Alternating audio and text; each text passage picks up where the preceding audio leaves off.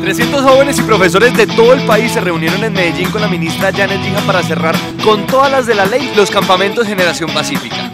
Esta vez nuestros jóvenes líderes aprendieron de la experiencia de Mena Mohamed, quien hizo parte de las protestas de la primavera árabe en Egipto. Además, la chilena Karina Delfino de la Marcha de los Pingüinos compartió su trabajo en la lucha de la educación en su país. En Sabana Larga Atlántico, la ministra puso la primera piedra para la ampliación del colegio Fernando Hoyos Ripoll, que beneficiará a más de 1.200 estudiantes con una inversión de 4.130 millones de pesos. En Barranquilla entregó la renovación de la acreditación de la Universidad del Norte y además un reconocimiento a su rector por su trayectoria y trabajo en pro de la educación y el desarrollo de la región. En Monpós, la ministra se reunió con alcaldes y secretarios para hacer seguimiento al cumplimiento de las metas del Plan Bolívar, el PAE y los avances en educación rural.